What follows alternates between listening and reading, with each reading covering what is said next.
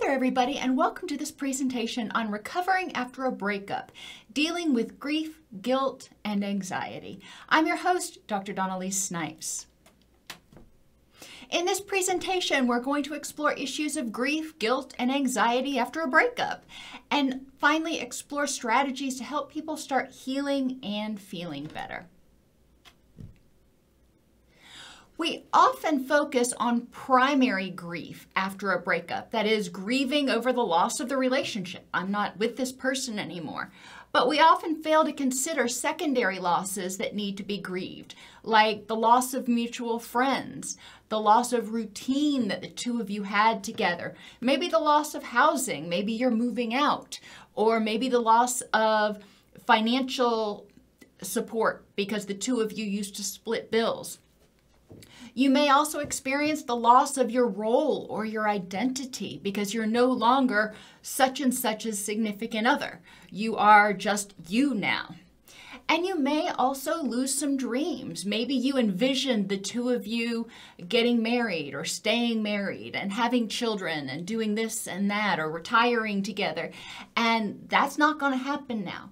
So there are a lot of secondary losses and tertiary, if you want to look at it that way, that need to be identified and processed. Some you may be able to work through pretty easily, others may take a minute. We also need to consider guilt associated with breakups.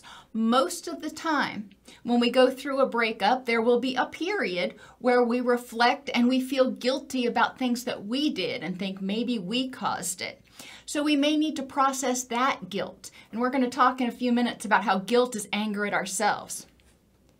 We also may have changes in self reference and your default mode and the need to alter those schema that you have. When we're in a relationship, again, we see ourselves as so and so's significant other. We see ourselves as successful in relationships. We see ourselves in a particular way. So that's our default mode.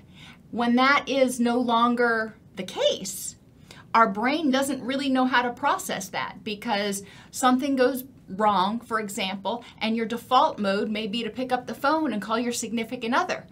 Well, you can't do that anymore. You can't pick up the phone and call that person. So your brain is sent kind of scrambling because your default strategies don't work anymore.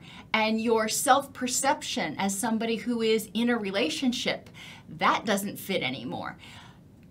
It doesn't mean that you won't ever be in a relationship again, but it requires some restructuring of the way you view yourself and you view the world. And depressive symptoms may result from just the stress of the breakup. You know, we know that depression is part of the grieving process, but when we go through a change, any change, it's exhausting. Change takes energy and effort. Change is stressful and can keep us from getting adequate sleep. Um, it can be exhausting and draining in and of itself, and it can contribute to feelings of exhaustion and apathy and some of those things we associate with depression. So let's talk about each of these things. Remember, grief has five phases denial, anger, bargaining, depression, and acceptance. We're going to skip over denial because if you're experiencing breakup grief, you're probably recognizing that it is a reality. So, anger and guilt and a little bit of anxiety may be some of your first reactions. You may be angry at the person for doing what they did to break up the relationship or the situation. Maybe the relationship ends because the person got um, transferred across the country.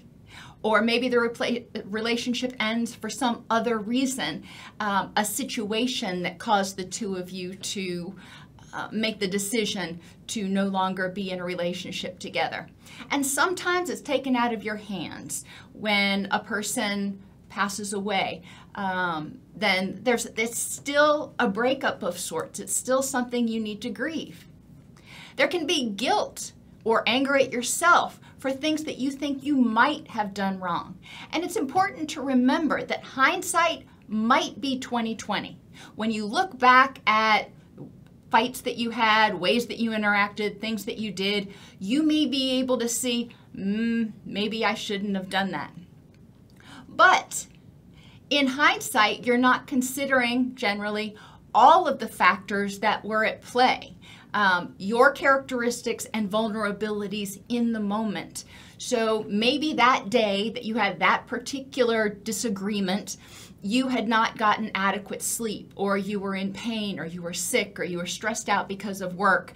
And not that that is an excuse, but it's important to recognize that our reactions, our behaviors are not just don't exist just in isolation. They're impacted by our environment, our experiences from the day, any vulnerabilities like hunger, fatigue, pain, sickness we're feeling. So it's important to recognize, if you can remember, if you had any other vulnerabilities going on right then. Now, there may be some characteristics like you have difficulty listening without interrupting people, or you have difficulty not getting defensive. Okay, that's a personal characteristic that may contribute, and that's something that you can work on. You know, a lot of times in situations where there's change, we learn things about ourselves that we may want to change to morph into this new reality, this new normal, if you will. But it, again, it is important to recognize and only take responsibility for those things that are your responsibility. The other person, I always say it takes two to tango. Uh, the other person, their characteristics and their vulnerabilities in the moment may have also contributed to the situation. And situational influences, like if you had this disagreement in public versus in private, you may have reacted differently. You know, if it happens in public, you may feel more threatened. You may feel like you've got to stand up for yourself, where in private, it may go a little more smoothly, or vice versa. Maybe in public you bite your tongue, but if it happens in private, you tend to be more verbally aggressive. If it was with your friends, you may have felt emboldened because you had backup. If it was with their friends, you may have felt outnumbered because they had backup. Um, and your reaction may have also been based on what you actually knew. I talk to a lot of people these days who meet people online and they assume that they know what the other person is like, who they are, what they're doing. Um, and they may be being, um, I hope I'm using the term correctly, catfished. Uh, so it is important to recognize that maybe you've been in this virtual relationship with somebody, or you thought you were for four or six months, and turns out they had a significant other um, all along, and the person that you thought you knew didn't really exist. It was just a it was just an act. Or you thought you knew that the two of you were together, but in reality you were just um, an affair, an emo- emotional affair at the very least. So it is important to recognize that you made the best decisions you could with the skills you had in the moment. And I try to believe that the other person also made the best decisions and acted the best way they could with the skills they had in the moment. It doesn't mean that there's not room for growth, but guilt can be um, oppressive if we hold on to it, if we nurture it. Anger and guilt are fight or flight stress responses, mainly fight, and indicate feelings of threat or unsafeness. In order to process anger, anxiety, and guilt, it's important to start by mindfully and non judgmentally noticing how you're feeling and what you're thinking. You can do this by journaling, or if you don't like longhand journaling, logging. You can even record it into a voice recorder if you hate writing, whatever it takes. And there's also voice to text, you know, whatever works for you. But it can be helpful to get it out on paper so you can actually see your thoughts And I know that sounds weird, but they've done research that has indicated that when people are able to see their thoughts, see what they're thinking, they get it out there, it stays longer. They ponder it for longer. If they just say it, you say it, and as soon as the sound's gone, sometimes the thought feels like it's gone. But if it's staring you back in the face, it causes you more pause. It causes you to ponder it a little bit more. And when you're journaling and logging, you can get a better handle on all of the feelings and thoughts that you're having because sometimes there's just too much to remember. So you can go back and you can look and you can say, okay, these are the thoughts that I'm regularly having. Now, what are the underlying themes and how can I process them? So, when you are journaling or logging, identify what you're angry about or afraid of. A lot of times it surrounds themes of rejection and powerlessness, but not always. So, when you have those thoughts, whatever the thought is, jot it down. And you know, you may have this initial list of thoughts that you jot down, and two weeks later, you have this other thought that comes from out of nowhere. Okay, add it to the list. You're going to deal with those thoughts, but it's important to mindfully be aware, to take note of what you're thinking. Explore ways in which this loss is triggering unresolved past issues, like other breakups, or abandonment issues, or adoption issues, or even trauma issues that may not even be related to a relationship. You know, maybe you experienced trauma in your past that has you know not relationship oriented and you were in a relationship with somebody who made you feel safe. And now that person is gone so now you don't feel safe anymore. And you're wondering who's going to be your your safety person so breakups can trigger a lot of anxiety and unsafeness um, about a lot of different things. And instead of telling ourselves how we should or shouldn't feel, it's important to just notice and acknowledge, validate how we do feel, and then figure out how to deal with it. Develop distress tolerant thoughts. Distress intolerant thoughts are when you tell yourself, I can't stand this. I need to make this stop. I can't go one more day. Uh, distress tolerant thoughts are those thoughts that say, yeah, this really sucks, or this is unpleasant, and I can get through it, and I have support that I can lean on. So, distress tolerant thoughts are exactly what they sound like. They're things that you tell yourself that remind you that it's unpleasant. It's not something you want to do, but you can do it. These feelings are not going to overpower you. You can also develop distress tolerance skills, and I've done a lot of videos on those. But some of the easiest ones, if you will, are unhooking. Instead of saying, I am devastated, saying I am having the feeling that I'm devastated. If I am devastated, it's part of me and it feels like it can overwhelm me.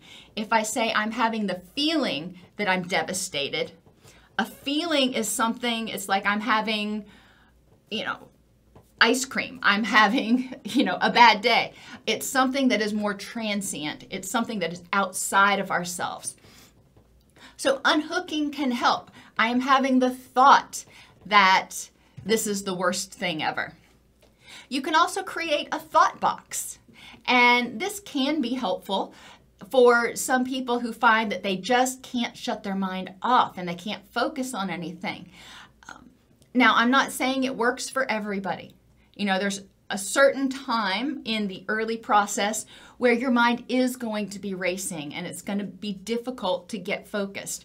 But as you move away from that breakup event, um, it may be helpful when you start having thoughts or anxieties or frustrations to jot them down and put them in a thought box, or you can jot them down on a uh, notepad on your digital device, whatever it works for you. And then know at the end of the day, you know, five o'clock, seven o'clock, whenever works for you, you will give yourself permission to attend to those thoughts for 30 minutes or an hour. You want to um, put a cap on it though, so you don't start pondering it and get stuck in it. Um, I encourage people to set an actual alarm, like the alarm on their stove, so they don't get sucked into it too much and spend too much time. Now, of course, if you are feeling suicidal, it is important to reach out for professional help. This video is not appropriate uh, for handling people who are in extreme crisis. Uh, and, and, you never want to minimize that. If you are feeling out of control, if you are feeling uh, like you're in crisis, there is no shame in reaching out to reaching out for help. Once you have identified your thoughts and started developing developing distress tolerant thoughts and distress tolerant skills, then you can start figuring out how you can downregulate into your wise mind. For a lot of people, one of the easiest ways is breathing. Breathe in for four, hold for four, and exhale for four. Do that two or three times. That deep breathing triggers the rest and digest. It helps downregulate that fight or flight um, activity so you can get, again, into your wise mind. It helps you switch from what we call your default mode, which is fight or flight, get me out of here, just keep me safe, not thinking, just doing, to your executive network that says, okay, let me consider all the facts and figure out what options I have to improve the next moment. Once you have downregulated into your wise mind, begin examining each thought that's causing you to feel angry or anxious using the FCP method. What are the facts supporting and against your beliefs, such as, she left me because I'm not good enough? Okay, what are the facts for and against that belief? I will never find someone like her again. What are the facts for and against that belief. And you're not going with what your assumptions are. You want actual, hardcore, observable facts. When random thoughts arise, write them down and process them either during your processing time or right then if you don't have a processing time. What aspects of the situation do you have control over going forward? Now, the past is the past. You have no control over the past but you can control your reactions to that person. You can control your what you do with your feelings when you experience them. You can control what you choose to do moving forward. You can control your interpretations of situations. If you're one of those people who tends to be um, excessively pessimistic, you know, you might embrace those dialectics and try to see both sides, the good and the bad in the situation. Now, I'm not saying toxic optimism. I'm saying tragic optimism. That is recognizing the suck of the moment, but having hope that it can get better. And you have control over your behaviors. You have control over whether you call up that person. You have control over whether you, you know, drive by their house. You have control over whether you start dating again or not. Um, so there are things you do have control over. Again, remember, feelings are your friend. It's what you do with them that can be problematic. When your body feels anxious or angry or guilty or some of those fight or flight oriented feelings, that's your body saying, hey, Pay attention. There might be a problem here. There might be a threat. You might be in danger. Notice I keep saying might. The brain can only process information when it's in default mode based on prior experiences. So that get, causes you to dump energy. When the HPA axis, when your fight or flight system kicks off, dumps energy the ideal situation is you get that energy, then you switch over to the executive network that can say, okay, now, in the past, This may have been indicated a problem. Let me look at the current context and figure out what my options are. So you switch over to executive network. That's, again, easier said than done, but feelings, we want to notice them. We want to validate them because they are giving us information. They're giving us information about what might be a problem or what might be something we want to do again. If we're feeling happy or elated, um, those feelings are telling us to do something too. So you're, you're looking at the facts for and against your belief. You're looking at what aspects of the situation you have control over going forward. And you're looking at what is the probability that this thought or my worst fear is going to come true as long as I do things that are within my control. So if your belief is, I will never find someone like her again. Okay, you look at the facts, figure out how, you know, how likely that is. You know, what is the um, what are the facts for and against it? Do you even believe it? And then you look at what aspects of the situation you have control over. Well, if you never start dating again, then you're not going to find somebody like her again. You know, if you stay in your house, you avoid dating, that's obviously going to fulfill that prophecy.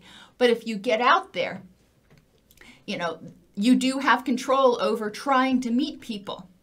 What is the probability that if you get out and you start dating again, that you will find someone to, that you want to be with? Maybe not exactly like your ex, because, you know, obviously you and your ex did not gel for some reason, but what is the probability that you will never find someone again? And then there's forgiveness, and that is often thought of as one of the many F words. Forgiveness, I think of as a power play because you're choosing to accept the situation and refusing to let it steal any more of your energy that you could use to move toward the life you want. Think of it like when you're driving along and if you get stuck in the mud. If you are holding on to anger and resentment, it's like staying in the mud and pressing that accelerator and spinning your wheels and getting deeper and deeper and deeper, and it's going to get harder and harder and harder to get unstuck. Forgiveness is when you choose to use that energy instead of flooring the gas pedal to get out and get a board to put under the under the tire so you can get traction and you can get out of there. Forgiveness is using your energy in a positive way to help you move forward. So, what does it involve? Well, four R's. Recognize what you are angry, resentful, res- resentful, or feeling guilty about. You know, that's the first thing. You got to figure out where this is coming from. Number two, remorse. If it's something you did to someone else, if you feel guilty about something, then you may need to feel remorse. Now, you can't control if somebody else is going to feel remorse. Um, that is, you know, when you're talking about forgiving somebody else, that R doesn't really apply. But when you're talking about anger at yourself um, for something, then remorse can be important. But notice if, if it is something you did to someone else or didn't do that you should have, or yourself, sometimes we feel guilty for putting ourselves through something. And it's important to acknowledge that and be cognizant of that. All right, once you recognize what you're feeling guilty or angry about, you have identified that you're feeling remorseful, you know, that's that's good because that's your body telling you, okay, now here's some energy, let's do something about it. So we move on to rectify. If it is towards somebody else, you may need to make amends or apologize for what you did or what you didn't do. But obviously, you may only want you only want to do this when it's appropriate and safe. Sometimes it's not safe to even encounter this other person again. So amends and apologies sometimes need to be made to the person. Sometimes can be done in uh, using a technique with a counselor called empty chair or writing a letter that you don't ever mail. You know, there are a lot of ways to work on rectifying if you have to make amends or apologies. Uh, but it is important to make sure that you stay safe while doing it. And learn from it. And that's part of rectifying. When something happens, if you somebody wrongs you in some way, learn from it. So you're less likely to get wronged by that person or other people in the future. If you do something that you feel guilty about, learn from it so you don't do it again. If you feel guilty about some of the things that you did in your relationship, okay, well, you can't unring a bell, but you can learn from it. Ask yourself, why did I do that? What caused me to engage in those behaviors and how can I keep from doing it in the future? And counselors can help you examine issues with that. I believe that behavior is a form of communication. So what you do is trying to tell you something about what your needs are or the fact that you feel unsafe. So, you know, again, counselors can help you explore if it's something that you haven't dealt with from your past, if you've got some abandonment issues coming from insecure attachments in your in your past, or if you need to learn from it because maybe that particular relationship was just terribly unhealthy. Um, but learning from it. And the final R is release. And that is really hard. It's hard to quit being angry, but release is what we often think of when we think forgiveness. You're not saying it's okay, you're saying it is what it is. I recognized it. I did what I ne- needed to do to rectify the situation or protect myself from having it happen again. And I am going to choose not to steal energy from the future and tie it up in the past. I refuse to keep sending energy back there to this thing that I can't change. It, it's done. Bargaining is the next stage in the grief process. And you may think of it in the in terms of the, the fight or flight response system. You have fight, flee, and then you also have frantic or fawning. And when people are frantic, they're like, you know, doing anything. They're just frantically trying to undo what they undo this loss. Fawning is very similar to frantic in that the person is desperately trying to appease the powers that be to make this loss go away, to make it, you know, not happen. So in bargaining, somebody may say, if I do XYZ, then they will come back. Uh, people bargain with, you know, their higher power a lot, and they say, if I start being a better person, then you will give me this back. I will stop hurting. Um, another aspect, and this is more in the fawning area, is misremembering the past. Telling themselves, you know what, maybe it actually wasn't that bad. Maybe we broke up and um, you know, I made something, a mountain out of a molehill. So bargaining can take different um, shades, if you will, but ultimately it's trying to invalidate how you feel or figure out a way to undo what's been done. It's important to remember that change causes crisis and crisis causes change. Just like when a butterfly, when well, when a caterpillar wraps themselves up into, into a cocoon and morphs into this butterfly, it's not that they just all of a sudden take off their coat and they've got wings on their back. They go through this pretty, you know, gruesome process to become butterflies. And during that process, you know, change they wrap in the in the cocoon that's a change they're no longer footloose and fancy free which causes crisis. It precipitates this metamorphosis. And this metamorphosis when they come out of their cocoon uh, causes them to change. As butterflies they act differently than they did when they were caterpillars. They fly instead of creep and crawl. Um, So remember that change causes crisis and crisis causes change. Grief, loss, change, breakups, it's not easy. Notice your thoughts mindfully. Revisit the tools that we just talked about for processing anger, anxiety, and guilt. Explore your anxious beliefs about whether it's really something you want or if it's just less scary than being alone. You know, is do you really want to go back to that or are you just trying to avoid change? What aspects of the situation do you currently have actually have control over? You know, if I do XYZ, then this other person will, you know, ABC. No, we can't guarantee that. We don't have control over other people's behavior. Also, explore your anxious beliefs about what it means to you to be alone or broken up. What memories do you have about prior breakups or being alone that may be scary to you or open old wounds?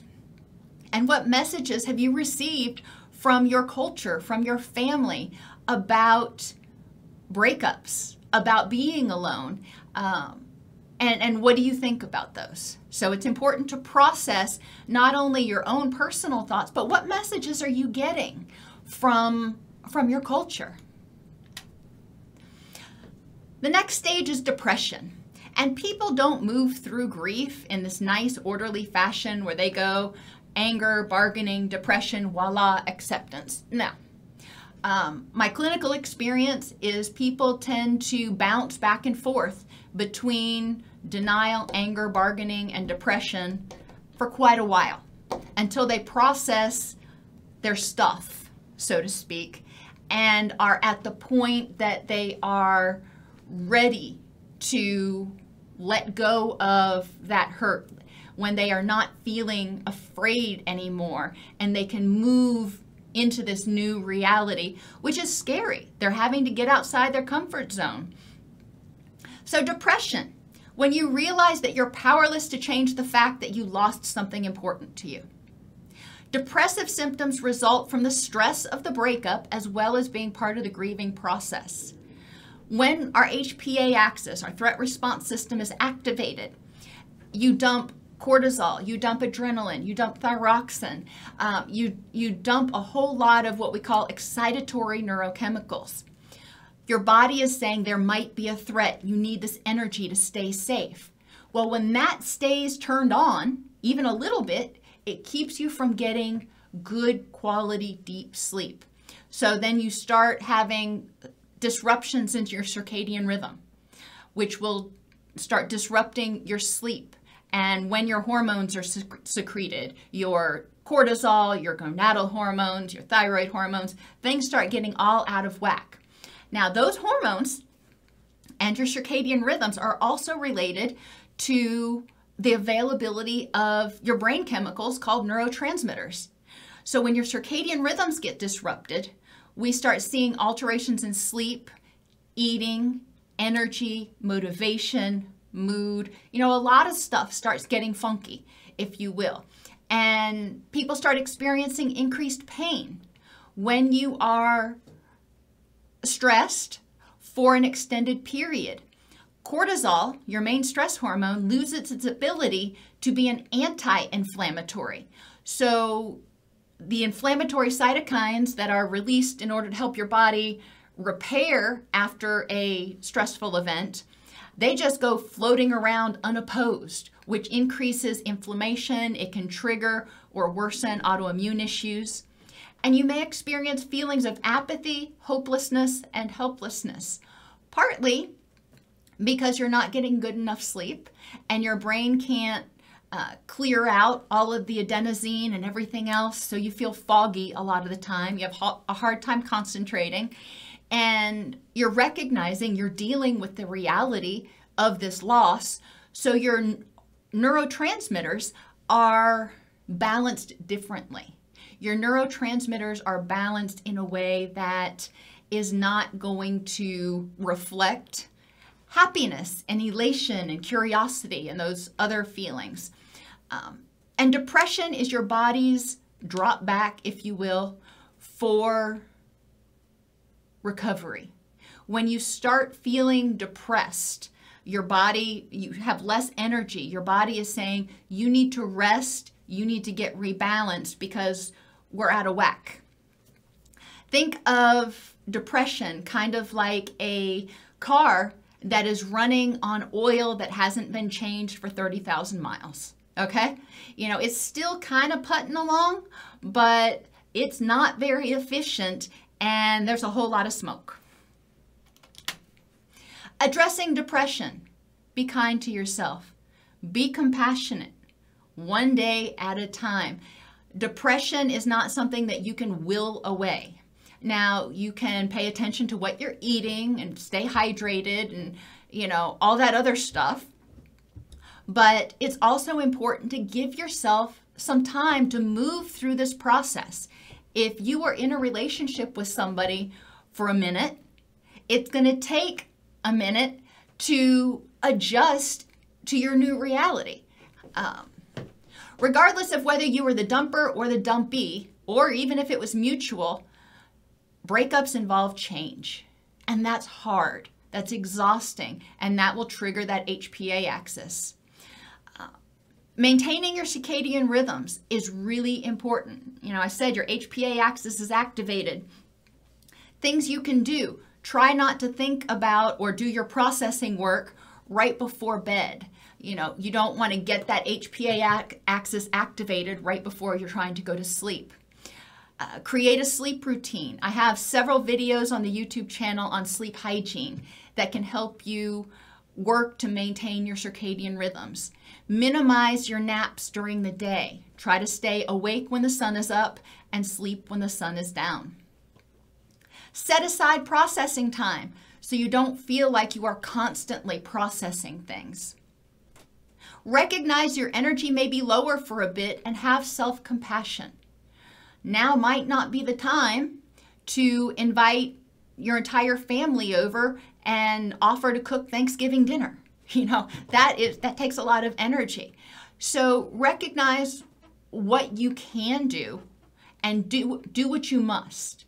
You know, if you need to, um, you know, get prepackaged food for a little while because you just don't have the energy to cook, okay, well, cut yourself some slack and reevaluate in a week or two weeks to see, okay, can I start doing a little bit more?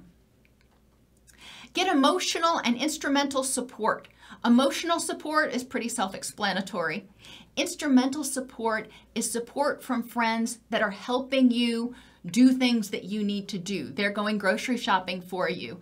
They are going with you to run errands. They are assisting you in some way. When you interact with others who are providing support, emotional or instrumental, it can help release oxytocin, our bonding hormone. Now, when you're when you break up, your body goes, that bond is broken. So your oxytocin levels tend to go down. When you start interacting with people who can give you emotional and instrumental support, even if it's not romantic, even if it's your your neighbors or your church family or you know the group that you volunteer with, that helps with increasing oxytocin levels and does have a significant impact on mood and attention. Keep a log of your mood. Look for improvement in frequency, intensity, and duration of your grief bursts. So you're going to have grief bursts for a little while while you're grieving this loss, while you're moving through this process, and that's okay.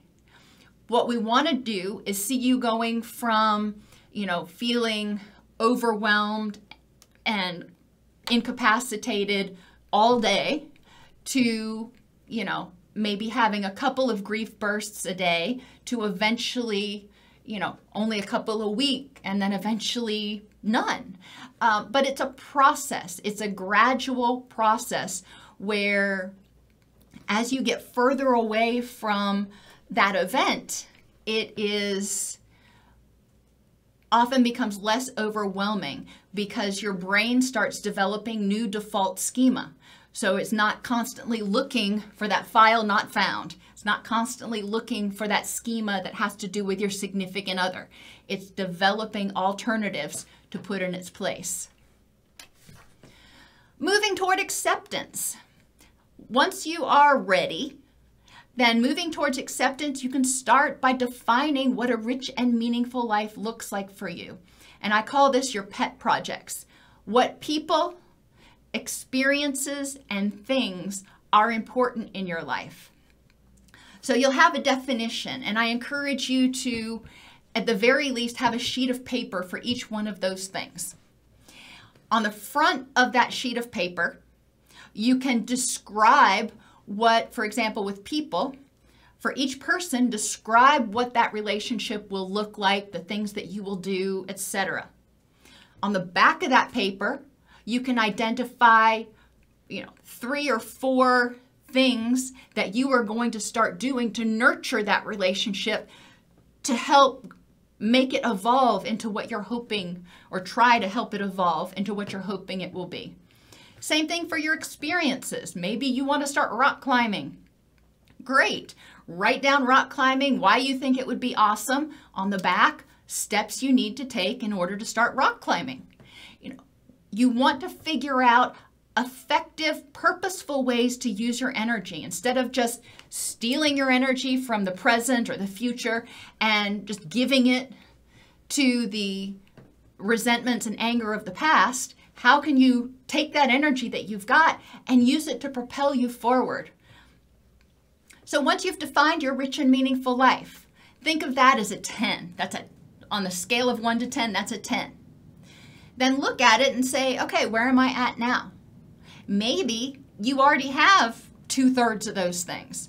So you're already a six. Great. Maybe you've only got two or three of those things. Okay. So you're at a two. What would it take to move up one level? Not to get to a 10, but what would it take to move up one level on that scale? In the meantime, you can work on hacking your neurotransmitters, if you will eating healthfully, food based nutrition. I'm not talking about a bunch of supplements. I'm talking about learning how to eat healthfully and colorfully. Get those antioxidants in there. Make sure you're getting enough protein and water. Moderate, minimize, or ideally eliminate, but you know, I'll, I'll pick my battles. Uh, caffeine and nicotine.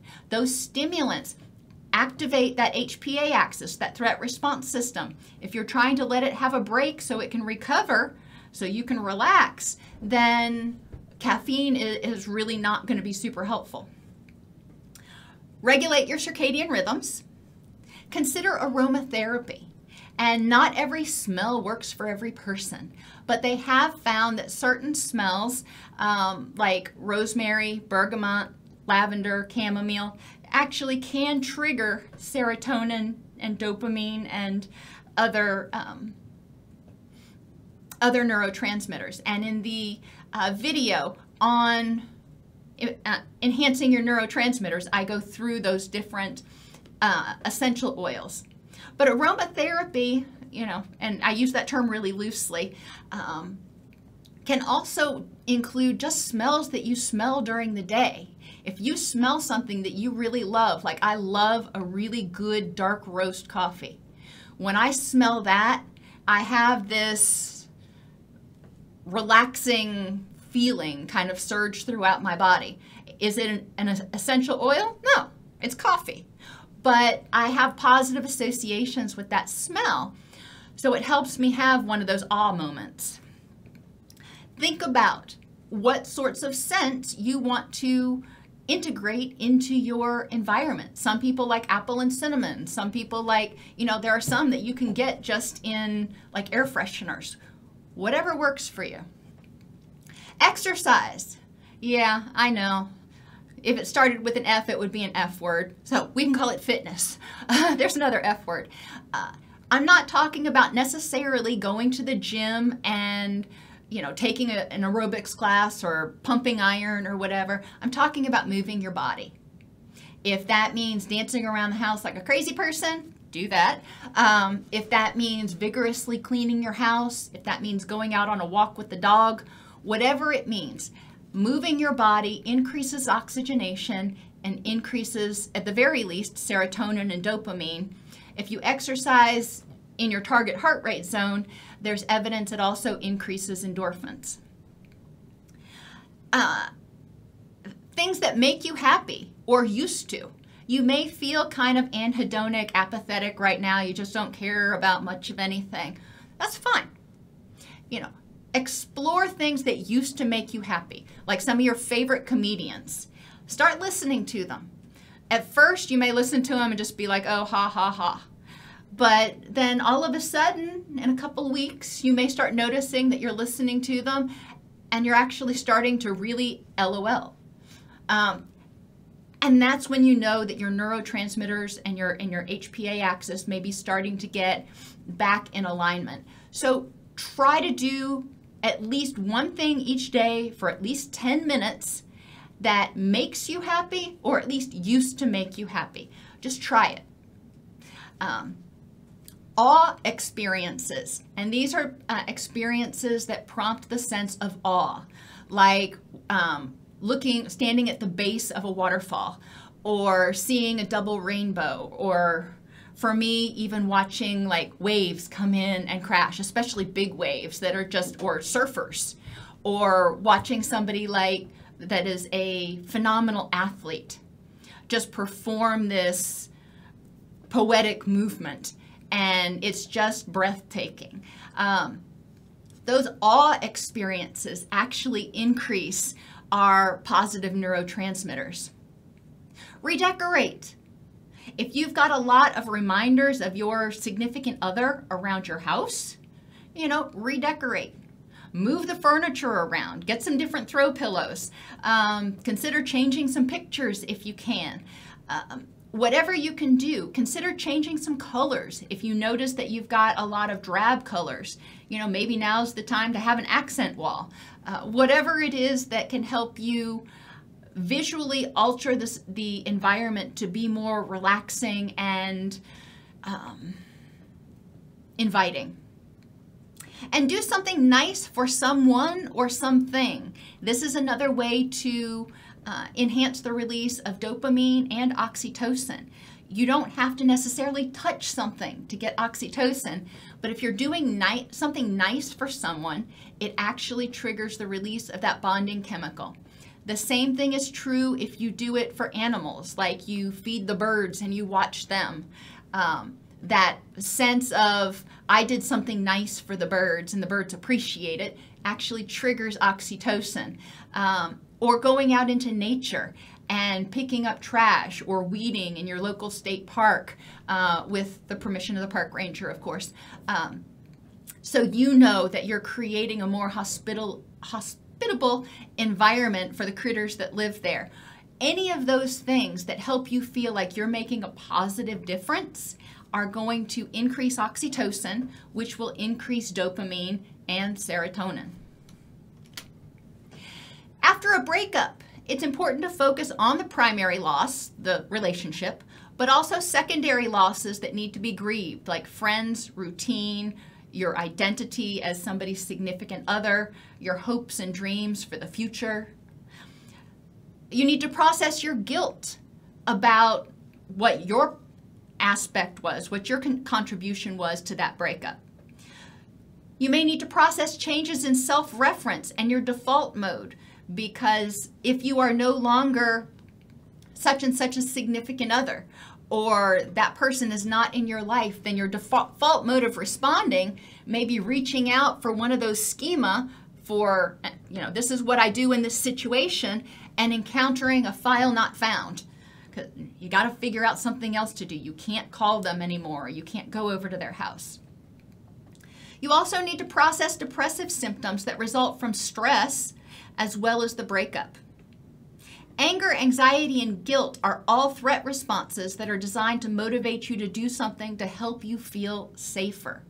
When you break up, it precipitates a change. It forces you out of your comfort zone. When you get forced out of that comfort zone, you feel unsafe. So, what can you do to help yourself feel safe during this change process?